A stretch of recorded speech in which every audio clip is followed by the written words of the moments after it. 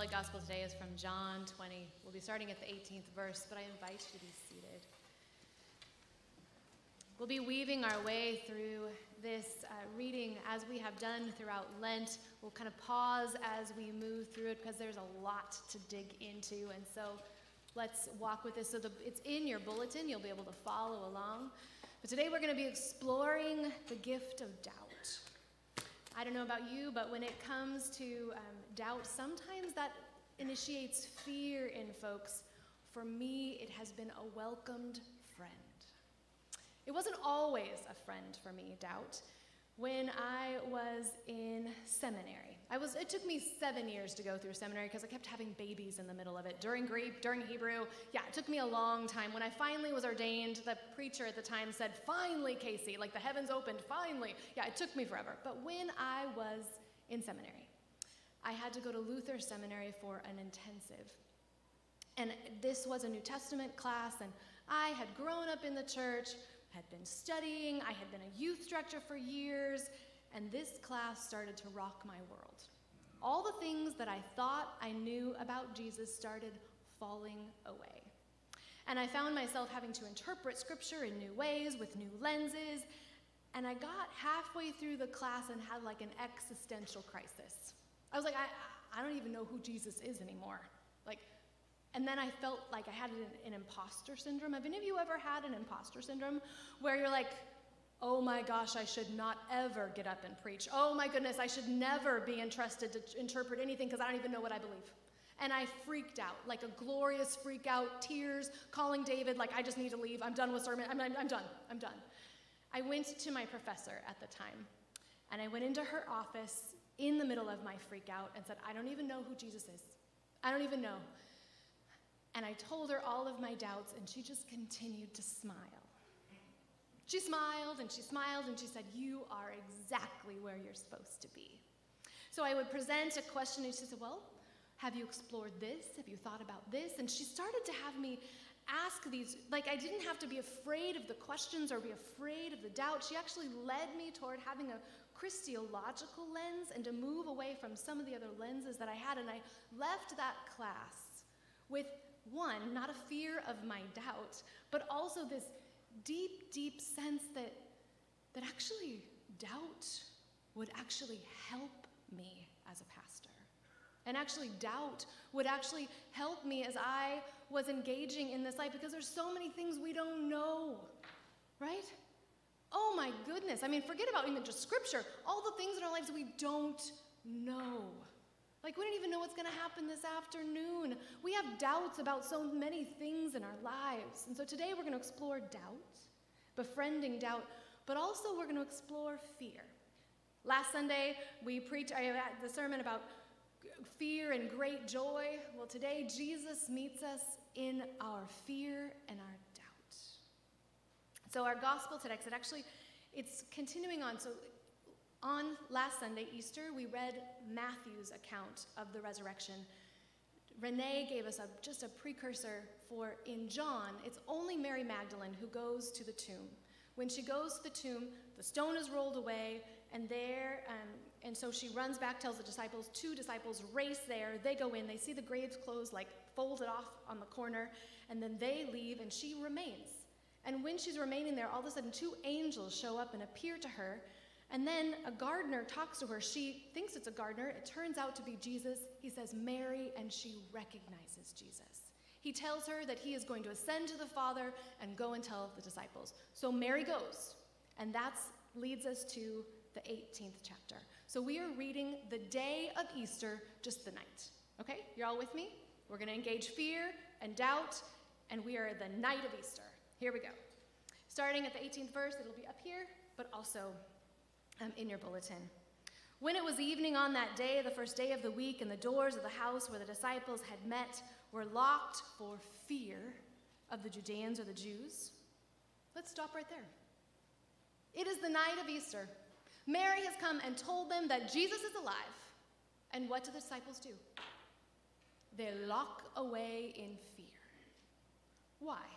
I mean, they shut the door, they lock the latch, and they, like, maybe close down the windows. Like, they're filled with fear. Why? I mean, maybe they're actually still lingering with grief, but you would think that they would have sent out like a search party to come looking for Jesus. What are they afraid of? This is a full participation. What do you think? What are they afraid of? Hmm? So they're afraid of getting arrested, to be tortured and killed just like their rabbi Jesus. What else? Oh, so they've lost their protector. Jesus isn't with them. So now they're like their leader's gone. So what do they do? They're afraid. What else? Oh, judgment. Maybe they think Jesus is like this divine now poltergeist who's going to come and like haunt them and come not with love but with judgment and revenge because they're a room full of deniers and deserters. So maybe they're like, ooh, we don't want to know what he's going to say to us. Maybe. We don't know. But I want us to pause for a minute just with this fear. Like they are locked away for fear. It's very relatable, isn't it? Like, fear can paralyze us. Can you think about a time in your life when you have been so afraid that you're like frozen, not knowing how to move forward? Fear, it taps into like the reptilian part of our brain, that like it's primal, and so we can freeze or flee, we can fawn, that fawn is the newest thing within psychologists talk about. That's for fo- folks who fawn they just want to please people so maybe that potential threat will not harm them. But fight flee freeze fawn. If anyway we sometimes live into those things unconsciously. We don't even know that we're doing them and fear is not all bad i mean think of the times that actually healthy fear is good like it keeps us from walking out in the middle of the street during rush hour or from petting a lion or for grabbing a pot of hot water with our bare hands. Like fear can be good, right? But fear, fear can sometimes hold us in these cycles of inaction that keep us from healing and toward a future, toward moving forward in life. I find for many of us, fear can sometimes wake us up in the middle of the night. Does fear ever wake you up in the middle of the night? 2, 3, 4 a.m., and kind of creeps in between your dreams. It says, You're not doing enough. You're alone. You do not matter. You're not safe. You'll never measure up. Fear has many, many different voices, but it taps into stuff that's very deep, deep in us. Fear keeps us from living a full life. We can become afraid of trying something new, changing jobs, getting ready for getting needing therapy and going to a therapist, going to the doctor, asking for forgiveness, leaving a toxic relationship. For me, the fear of going to a professor and saying, I don't even know anything. I was filled with fear to go and talk to her. When I was in college, there was a woman who I lived with, who was a large house down at PLU, and for the entire year, my senior year, she lived in her room on the first floor with all of the boxes of her belongings, like stacked up high. She bought a couch and she slept on her couch, but she never unpacked. Like, so she would live in her boxes and she would spend hours, sometimes days, in her room.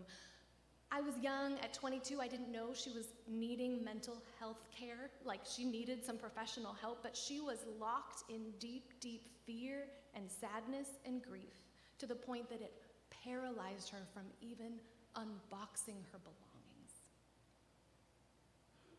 Even when we have faith or that we trust in God, fear can lock us away, can isolate us. But Jesus appears in the fear. Let's read on. Jesus came and stood among them. I mean, I don't know how he kind of like came through this locked door, but it's kind of cool. So he came through this door and he said, Peace be with you. After Jesus said this, he showed them his hands and his side. Then the disciples rejoiced when they saw the Lord. Jesus said to them, Again, peace be with you. As the Father has sent me, so I send you. When he said this, he breathed on them and said to them, Receive the Holy Spirit. If you forgive the sins of any, they are forgiven. If you retain the sins of any, they are retained. Jesus moves right past their fortified walls of fear and says, Peace be with you. I mean, the image is beautiful, like he's standing right in front of them, right in the midst of all that they are feeling, their big, big feelings, and says, Peace be with you. I imagine him turning to each one of them and having to say it really slow so it can kind of penetrate into their bones. Peace be with you. Peace be with you. Peace be with you. This word peace can be translated quietness or rest, wholeness, or like peace of mind. Like this peace of Christ would actually would, would quiet the fear that would be residing inside of them. Jesus shows them his scars, the remnants of his death. And then again, he says, Peace be with you. And then Jesus gives them the gift of the Holy Spirit. He breathes on them. Like the resurrection extends not only from his body, but now extends to them. I mean, theologically, it's beautiful. And he breathes on them. He exhales the gift of the Holy Spirit. And he commissions the disciples to go and do the work of forgiveness in their everyday lives. Like, he breathes on them, kind of like the dry bones that we heard a few weeks ago that finally take on flesh and bone and breath and purpose. So, too, this little band of followers who were dead in a tomb, locked away in their own fear, they come alive with this gift of peace and this now purpose to go and to share this peace with others. This little church, this group of 10, come back to life. But reading on, but Thomas, who was called the twin, one of the twelve, was not with them when Jesus came. So the other disciples told him, We have seen the Lord. But he said to them, Unless I see the mark of nails in his hands, put my finger in the mark of the nails, and my hand in his side, I will not believe. Can you blame Thomas? I mean, all the other disciples got to see Jesus, and I don't know how they were, like, how would you feel if you're the only one who didn't get to see Jesus? You feel left out. You feel like I, as someone who can be rather gullible, would be like, don't mess with me. Like, I only believe half of what my family says because they are always trying to get me. Maybe Thomas was afraid that they were going to get him in this like cruel and twisted kind of joke that Jesus was alive and they saw him. So he's like, "No, I'm not going to believe you until I until I see it." And he goes even further, not until I see Jesus, but I put my hands in his wounds and my hand in his side. Like he wants some proof. And I don't blame him.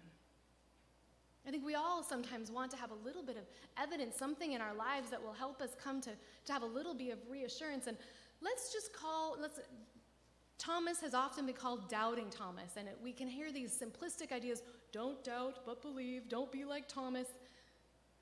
My goodness, let's give Thomas a break. Let's call him honest Thomas. right? He was honest. He wanted, he wanted something to make a little bit of sense because what the disciples were telling him, his friends, he's not believing it. It doesn't make sense. It doesn't make sense to them. So we continue on. A week later, his disciples were again in the house, and Thomas was with them. Although the doors were shut, do you notice they're shut? They're not locked. So something's happening. Jesus came and stood among them and said, Peace be with you. He says it again Peace be with you. And then he said to Thomas, Put your finger here and see my hands. Reach out your hand and put it in my side. Do not doubt, but believe. Thomas answered, My Lord and my God. Jesus met the disciples the week before in their fear and, and provided for them in the midst of their fear. Thomas, in the midst of his questions, in the midst of his doubt, Jesus provides and, and not only says, hey, see me, but actually says, go ahead, touch my wounds. Put your hands here. It's, um, it's gory. Like, I, I mean, it, take a moment and think about this. He's like saying, touch, touch this, which is actually the most painful thing that I have experienced. Touch, go ahead. And then we continue on. Jesus said, Or blessed are those who have not seen and yet come to believe. Now, Jesus did many other signs in the presence of his disciples, which were not written in this book. But these are written so that you may come to believe that Jesus is the Messiah, the Son of God, and that through believing you may have life in his name. Touch the wounds. Touch the wounds of Jesus. I've been trying to process this because I have every single Sunday after Easter, this is the scripture. Every single time. And you would think that by now I'm like not surprised by something. I was this year. Somehow I have missed that actually he would touch the wound. Like the visceral touching. I had always in my mind thought just seeing. Touch changes the whole scene for me. And it made me pause and think what does it mean that Jesus actually invites Thomas to touch his wounds and then also will now send them all, uh, these disciples, out again? It makes me wonder when do we touch the wounds of Christ today? Have you ever thought about that? When do we touch the wounds of Christ today? I'm looking out at many of you who have jobs where you are working with teens who are going through very difficult situations. Every day you are touching the wounds of Christ. I'm looking out at a few people who are giving care, long time care to loved ones, and it's not easy. And you are touching the wounds of Christ. Christ, like, comes and actually experiences the fullness of our suffering. And when we go about our life, we are drawn in to touch the wounds of Christ in the world today.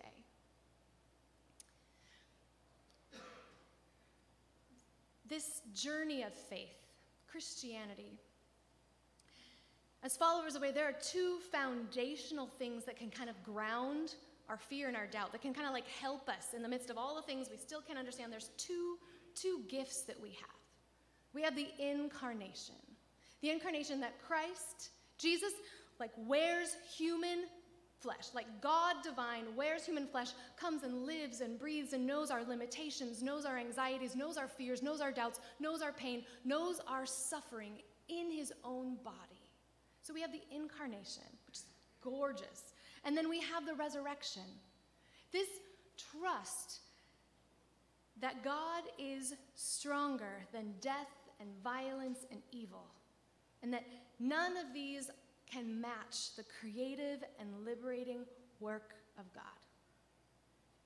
They can't touch locked doors that are filled with fear. They can't touch hearts that are grieving in despair. They can't touch the gift of the resurrection, which is always yielding life. Peter Enns wrote this phenomenal book called The Sin of Certainty. I highly recommend it. I think that we've got to take like a journey through this whole book. Um, it's called this The Sin of Certainty Why God Desires Our Trust More Than Our Correct Beliefs. He also has a wonderful podca- podcast called the Bible for Normal People. I highly recommend it. Just when you're out for a walk, listen to Peter Enns. He does a great job. But he writes this Struggling with faith is normal. Journey and pilgrimage have become powerful words for me for describing the life of faith. I have come to expect periods of unsettledness, uncertainty, and fear to remind me that who I am and where I am and what I think do not define reality. Facing and then truly being present with my experiences along the way help me to remember that my experiences at any moment are not the entire journey, including those periods where God is distant. I have come to believe that periods of struggling and doubt and fear are common experiences in faith, including in the Bible that something is meant to be learned from such periods, however long in duration they might be. Today, if you find yourself going, Well, what does this mean, Casey, for tomorrow? Like, I have to get up and I have to go to work. What does Jesus showing up to the disciples mean for me tomorrow? What does it mean for me this week as I have to go about my to do list? Why does this matter? It's a good question. Perhaps at this moment you're like, dang it, why did you ask this question? Because now I'm like freaked out a little bit. My hope is that you ask a lot of questions, that you wonder, that you don't run from your doubt. And even as you enter in your day tomorrow, perhaps you pause and remember how Jesus met the disciples. What did he say? Peace be with you. Peace be with you in the midst of your fear. Peace be with you in the midst of the things you can't figure out yet. Peace be with you in a really stressful day tomorrow.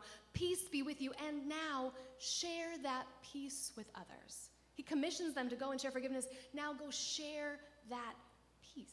Like, what does this mean? Jesus is wanting to bring you back to life, to breathe new life in you, and to send you out to be peace to be love. You've got a job to do. And sometimes the doubters and the deserters and the fearful are the best messengers. So know you're in good company. Wherever you find yourself on your spiritual map, Jesus is showing up, will continue to show up and say to you, Peace be with you. Do you know? I'm sorry, I'm talking on and on and on, but we say peace be with you every single Sunday. And it is not a time to just get up and say hi to your friends. We're actually supposed to turn to each other, look each other in the eyes, and say, Peace be with you, because we forget. So, this is a liturgical practice of turning toward each other, and it's an act of actually practicing forgiveness, practicing love, practicing care, so we can do it out in the world. So, later on, after we have the prayers and we do the peace be with you, and you get up and move and you share peace be with you, that's practice. It's like we are practicing working our muscles of faith so we can do this out in the world as we go and we serve God. Mm. I mean, that's good, isn't it? Like it's baked into who we are. So may God bless you in your doubt and your fear, and may the peace of Christ hold on to you as God breathes new life in you. Let us pray. Holy, most gracious God, Dang, you do so much, and we can miss it. Breathe your spirit into any places in our life where there is fear, where there is doubt. And we know, Holy God, that those are things we do not have to worry about, but you come and you dwell with us. And as we engage our fear and our doubt, our wondering, our questions, you are present.